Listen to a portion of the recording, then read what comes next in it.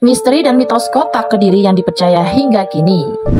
Yang pertama adanya piramida. Masyarakat Kediri mempercayai adanya sebuah piramida terpendam di bawah tanah kota ini. Misteri peninggalan prasejarah ini diyakini masyarakat lantaran Gunung Klotok yang berada di dekat Gunung Wilis ini tampak seperti piramida. Bentuknya pun juga unik dan tidak biasa, sehingga banyak orang yang percaya di dalamnya terdapat candi atau piramida. Yang kedua, ramalan Jayabaya. Salah satu ramalan yang banyak dipercaya masyarakat Indonesia, khususnya yang berdarah Jawa adalah ramalan Jayabaya. Ramalan tersebut ditulis oleh Jayabaya, Raja Kerajaan Kediri. Dalam ramalannya, sang raja menuliskan tanah Jawa akan berkalung besi dan akan dijajah wong cebol atau orang bertubuh pendek. Ramalan tersebut dikaitkan dengan rel kereta api yang kini mengelilingi Pulau Jawa dan dulunya Indonesia pernah dijajah oleh Jepang. Yang ketiga, buaya putih penghuni Sungai Berantas. Mitos tentang keberadaan buaya putih yang menghuni Sungai Berantas sudah ada sejak dahulu. Kepercayaan ini muncul karena sungai yang sudah ada sejak zaman Mataram kuno ini kerap menelan korban jiwa dan buaya putih dituding sebagai penyebabnya. Yang keempat, dilarang menikah dengan orang Lamongan.